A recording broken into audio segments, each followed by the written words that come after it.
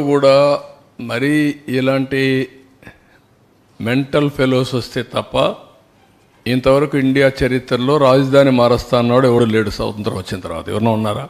నాకు తెలియదు మీరు చెప్పాలి. నేను కూడా నలభై ఐదేళ్ళు రాజకీయాల్లో ఉన్నా. అట్ ది హెల్మ్ ఆఫ్ అఫేర్స్లో ఉన్నా. నేను ఎవరిని చూడలా. First time I'm seeing a different politician మీరందరూ అర్థం చేసుకోవాలి. ఎవడు రాలా?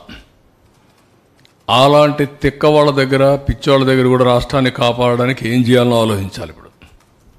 Not only for Andhra Pradesh it is a case study for the country దేశానికి కూడా ఒక కేస్ స్టడీ ఇది ఇప్పుడు.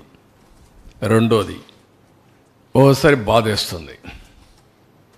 నా ఇంటెన్షన్స్ ఆర్ గుడ్ ఓసారి నా ఇంటెన్షన్స్ ప్రజలు అర్థం చేసుకునేట్టుగా నేను చెప్పలేకపోవడం కూడా నా తప్పు కావచ్చు. లేకపోతే వాళ్ళు కూడా ఓసారి ఎమోషనల్గా డిస్టర్బ్ కావచ్చు. అల్టిమేట్గా రిజల్ట్ ఇస్ సేమ్ నేను సఫర్ అయ్యా రాష్ట్రం సఫర్ అయింది అందరం సఫర్ అయ్యాం. హైదరాబాద్ కూడా మీరు ఒకసారి చూస్తే నేను ఆ రోజు రెండు వేల నాలుగులో కానీ హైదరాబాద్లో కానీ కంటిన్యూ అయింటే ఇంకొక లెవెల్కి వెళ్ళిపోయింది అది. మళ్ళా పదేళ్ళు పట్టింది. ఈ రాష్ట్రం కూడా ఐదేళ్ళు కానీ కంటిన్యూ అయింటే కంటిన్యూటీ ఆల్వేస్ క్విక్ రిటర్న్స్ వస్తాయి. ఫాస్ట్ గ్రోత్ వస్తుంది. బెటర్ ఎకానమీ ఎస్టాబ్లిష్ అవుతుంది. అక్కడ గ్యాప్ అనేది కొంత నష్టం జరిగింది. కానీ నేను రిపెంట్ కావడం లేదు. నేను ఎప్పుడు కూడా పాజిటివ్గా ఆలోచిస్తా.